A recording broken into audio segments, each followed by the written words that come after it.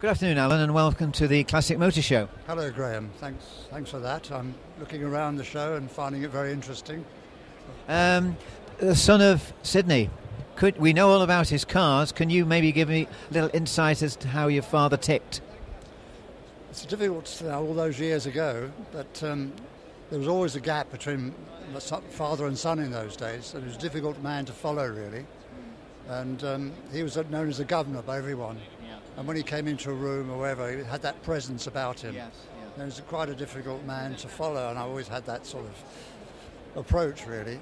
So, so you were sort of born into a father who was was he then building cars then? He was. Um, well, yes, that was. Well, I was born in 1940, so in fact, uh, the car started. The, their first specials were just before the war, and 46 after the war was the first cars. The J1 and the K1 came out then, and then he went on to build the production cars and eventually build 2000 thereabouts.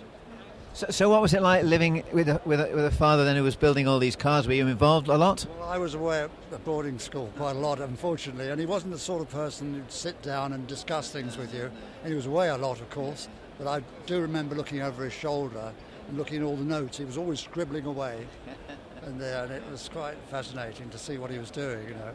But I was rather detached from him as being away at school, and he never discuss, wasn't the sort of person to discuss. There was that gap between father and son a little bit.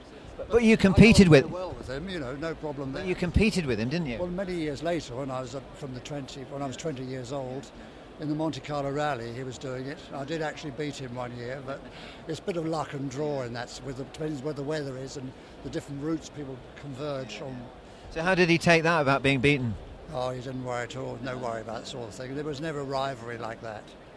Could you see in the early days? I mean, I know you were very young, but could you see in the early days that the Allard company was going to be as big as it was. No, uh, you couldn't. Have, no. no. you couldn't see ahead then, really. And of course, I realised years later that Jaguar and big companies came out. They had they went into production line. We could never get a production line going in Allard, and that was the downfall really. The cost of building the cars, every little piece, it just wasn't cost effective. Eventually, too much competition. And of course, my father was a racer at heart. He really wanted to go racing. Yes. He never intended to build yeah. a huge company anyway. No, no, no, and as he was asked to build cars, he did. And, and, they, and very good cars too. Yes, they were mostly with the. You could build. It was sort of pedigree. It was race from race racing really. They weren't built for sort of road use. It's almost the other way around. They're all sporty cars built for.